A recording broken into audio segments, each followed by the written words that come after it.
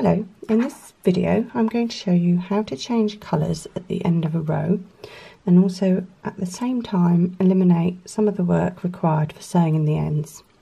Um, and then I'm also going to show you a way to sew in the ends which reduces bulk and also uh, looks good and doesn't um, destroy the elasticity or um, gauge of your pattern. And the basic um, principle, as you know from sewing in ends, is that when you sew in an end, you travel along a few stitches and then you go back the same direction you came um, whilst trapping in another stitch so you're not just unraveling um, what you've just done. Um, it's the going in one direction and then going back in the other that's what makes the um, ends secure.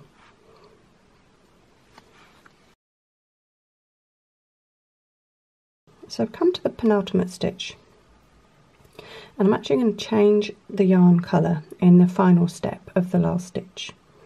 So if you're making a double crochet, you're going to yarn over, go into the stitch, pull up a loop, you've got three on the hook, yarn over, draw off two, and instead of completing the final step, you're actually going to cut the yarn, leaving a long enough tail to sew in, but not too much so you're not wasting precious yarn. That's usually about enough. Then I'm going to get my the next colour that I want to join. And again, just leaving kind of shortish tail. And I'm going to complete the last part of the stitch with the new colour. So don't worry if it's all a bit baggy because we can sort that out in a minute. Now I'm going to chain three, which counts as the first stitch, the next row. I'm going to turn my work. And then I'm going to um, continue in the pattern, which is uh, three, uh, two double crochets into the same stitch where I've just joined that new colour. So I'm going to yarn over to make the stitch. So before I go into that stitch, I'm actually just going to tuck my hook under the two tail ends of yarn before I go into that stitch. And then I'm just going to sort of hold them down with my thumb and I'm going to finish making the first stitch. I'm going to keep hold of those tails and now I'm going to make second stitch in the same spot. Um, and now the next part of the pattern is three double crochet into the next stitch so I'm still going to include those tail ends when I'm doing these uh, three double crochet. So they're just laying across the top of my hook there. So I'm not actually crocheting with them, I'm just kind of crocheting around them. Two, three. So with this pattern, the next stitch is to skip one and then double crochet. So now I'm going to leave those um, because it it doesn't really work when you're skipping stitches. It only works with when you've got solid stitches one after the other. So this would work just as well if you had um, a series of just single double crochets or maybe slightly different pattern that was a cluster, that would also work. So as you can see this looks a bit loose and baggy but we don't need to worry about it. We just give it a very gentle tug and that sorts it out. So you can see I've done all of this edge in exactly the same way and it looks really good. So I'm just going to carry on in the pattern and then when I get to the other end um, I'll show you one more time and then I'll show you how I sew in the ends to um, keep everything nice and neat without too much bulk down the side of your fabric. I'm going to show you again. Come to the end of this round, I'm ready to make the last stitch. So remember, I don't complete the stitch, I go up to the penultimate part of the stitch. So yarn over into the stitch, pull up a loop, I've got three, yarn over, draw off two. Now I'm not going to complete that. I'm going to get my scissors, cut the yarn, leaving long enough tail for sewing. You only need a little bit. I'm going to join this lovely, bright, cheerful orangey yellow yarn. So again, I'm just leaving just a tail long enough to sew in, not too much because I don't want to waste it. Then I'm going to finish off this double crochet by yarning over and pulling through. I'm going to start the next row with a chain three to represent a double crochet. I'm going to turn my work round. Just going to make sure the two tail ends are towards me. And I'm going to continue in the pattern which is two double crochet in the first stitch.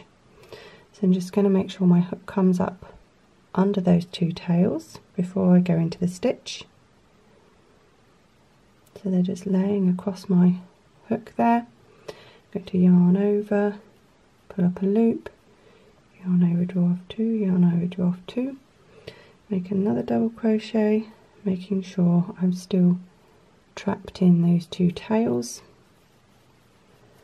And the next step is three double crochet in the next stitch and again I'm just making sure that those tails are between the stitch that I'm going to work and the loops on my hook and just be careful not to work them you're just working around them and then I'm going to stop with this particular pattern because the next step is skipping a stitch. So it doesn't look very good if you do it when you skip a stitch because obviously you can see them. They're not being hidden by anything.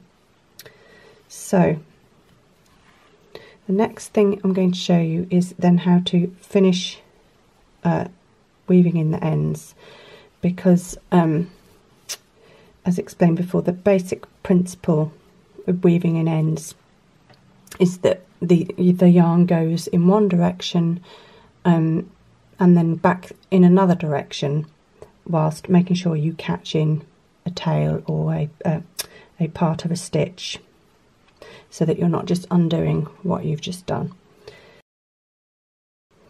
So when I come to sew these ends in, we've already done one part, it's already going one way under a few stitches. Now we need to go back the other way. So by catching it in, we've eliminated one step and saved ourselves a bit of time. So with these tail ends, what I like to do with this particular pattern is if I sew both of them into this corner, it can add a bit of bulk just all along the edge here, which I don't really want.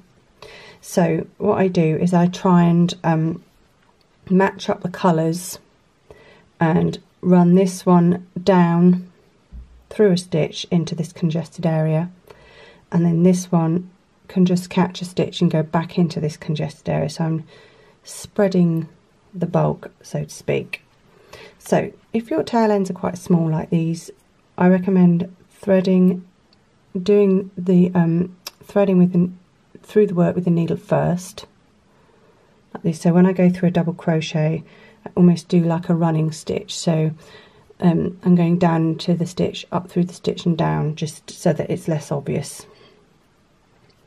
Now I'm going to thread the needle. If you're if you don't have precious yarn, you can leave it longer the tails than what I have done. Because this is hand dyed yarn, I, I don't like to waste it. So I'm going down through the double and then I'm just going to catch the other leg of that double crochet and then I'm going to go into this little congested area of stitches there. And then that's all I need to do for that. I can trim that off and that is nice and secure because we've caught it in with the crochet and then we've gone back with the stitch. So let's also do it with this tail here so I think I'm actually going to catch that stitch there before I go back through this congested area. So it's, it, this isn't the best needle actually, I prefer to have a much sharper needle because if you can actually push it through the stitches rather than just running them along the inside so that everything's loose like that. If you can actually get it through the stitches so that it's really tight in there, that is actually much better. It's less likely to come loose.